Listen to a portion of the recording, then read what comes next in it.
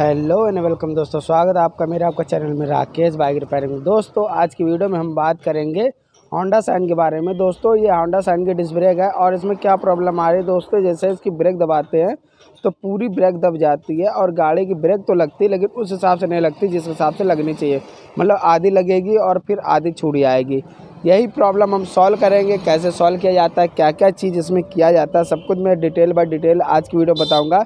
Video बहुत ही ज़्यादा अच्छी वीडियो, अगर पसंद आए तो प्लीज़ लाइक सब्सक्राइब और शेयर कीजिएगा। तो चलिए आज की वीडियो हम शुरू करते हैं।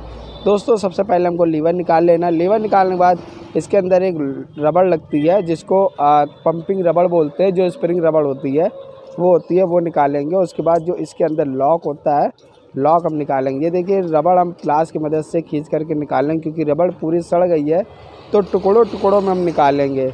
ठीक दोस्तों? तो ये देखिए हम आ, काम कर रहे हैं। तो हमारे कैमरा भाई ने हमारी शक्ल भी दिखा दी। हम किस तरीके से काम करते हैं दोस्तों? मेरी एक छोटी सी दुकान है वहीं पे मैं वर्कशॉप वहीं मैं काम करता हूँ वहीं वहीं पे दुकानी पे मैं काम करता हूँ दुकानी पे मैं वीडियो शूट करता हूँ। ठीक दोस्तों ये देखिए इस तरीके की रबड़ होती है। और इसके अंदर एक लॉग होता है जो कि आप लोगों को सबको पता है। ठीक दोस्तों तो डिस्क ब्रेक में जितनी भी मेजर किट होती है, सब में लॉक लगा होता है तो लॉक हम इसको निकाल लेंगे। ठीक दोस्तों लॉक निकाल लेते हैं, उसके बाद फिर मैं आपको दिखाता हूँ। तो दोस्तों, ये देखिए, ये हमने लॉक निकाल दिया। ये देखिए, ये पंप होता है लॉक होता है। मैं अभी आपको दिखा रहा हूँ, ये पंप कैसा होता है लॉक कैसा होता है। पहले इसको हम क्लीन कर देंगे, इसमें हमने निकाला हुआ है। और ये जो ऊपर वाली डिब्बी है, इसको आपको खोल लेना, ऊपर के दो पेज खोल लेना, जो कि मैंने आपको नहीं दिखाया था, लेकिन मैं बता रहा हूँ कि इसको ऊपर वाले को खोल लेना है। ठीक दोस्तों, मेजर किट जब भी डाले, ऊपर का ढक्कन खोल ले ऑयल पंप वाला जो ऊपर डिब्बी होती है, वो खोलनी है। ठीक दोस्तों, उसके बाद अंदर से, अंदर जो होता है, अच्छे से कपड़े से क्लीन कर लीजिएगा, जो ग्रीस व्रीस लगी होती है, वो सब चीज़ें आपको क्लीन करना है। ठीक दोस्तों, अच्छे से क्लीन कर लेंगे, और उसके बाद ये देखिए, ये हमारे पास मेजर किट है, ये ओरिजिनल हांडा की है। तो दोस्तों, ये हमारे कैमरामैन बार बार हमारी शक्ल दिखा रहे हैं तो कह रहे भाई, जो बना रहे हो, उसकी शक्ल भी देखनी चाहिए। तो ये देखिए, ये मेजर किट में इतना आइटम आता है। इसकी रबड़े ओरिजिनल की जो मेजर किट होती है, उसका जो सामान होता है, वो अलग आता है। एक एक चीज़, ये देखिए प्रिंट रेट आपको दिखाया मैंने कितने का है। और ये देखिए, ये लॉक है, ये लॉक हम नीचे रखेंगे। ये पंपिंग रबड़ होती है, जो कि ऊपर लगती है, ये भी हम नीचे रखेंगे। ये जो दो ओरिंगे होती है, जो बड़ा ओल की ओरिंग होती है, वो पीछे लगती है, छोटे ओल की ओरिंग जो होती है, वो आगे लगती है। किस तरीके से लगानी है मैं आपको वीडियो में दिखाऊँगा तो स्प्रिंग हम किनारे रख देते हैं और इसमें दिखाते हैं मैं आपको। ये देखिए, इस तरीके का हम लगाएँगे। ये देखिए, पुरानी वाली में आपको उठा के दिखा देता हूँ। पुरानी वाली में जिस तरीके से लगी है, इसकी ओरिंगे वैसे ही लगानी। ओरिंगे इसकी अलग से लग के, अलग से आती है, लग के नहीं आती। आपको लगानी पड़ती है। ध्यान रहे, अच्छे से लगाइएगा। पुरानी वाले से मैच करके लगाइएगा। नहीं मैच करना है तो आप मेरी वीडियो देख लीजिए, मैं किस तरीके से लगा रहा हूँ।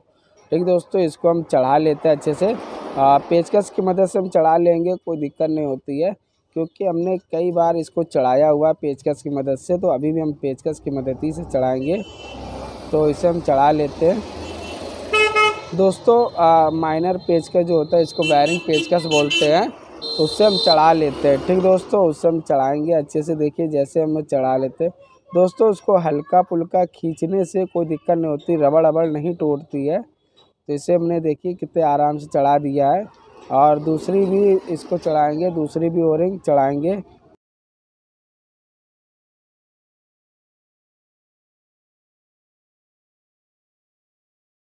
तो दोस्तों, ये दोनों रिंगें हमने चढ़ा दी है इसकी। ये देखिए, अच्छे से चढ़ा दी है। कंपनी कभी भी लगा के नहीं देती, आपको खुद लगाना पड़ता है। तो ये देखिए, बड़े आराम से हमने लगा दिया है।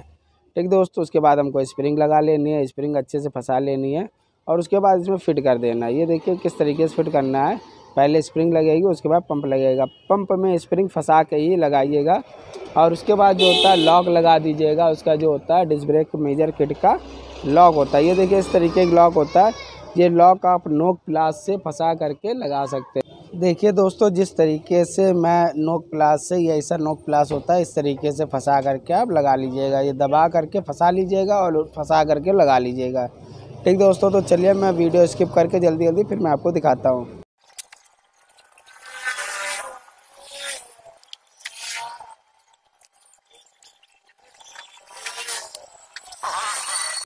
तो दोस्तों, हमने लॉक लगा लिया है। अब इसमें ऑयल डालते हैं। दोस्तों, ये वाले डब्बी में जो बता रहा था कि लॉक निकालने से पहले लेजर के निकालने से पहले ये ऊपर की डब्बी खोल लीजिएगा, दोनों पेज हटा करके। ठीक दोस्तों, उसके बाद हमको ऑयल उसका लेवल करना है, उसके बाद फिर पंप चलाना है।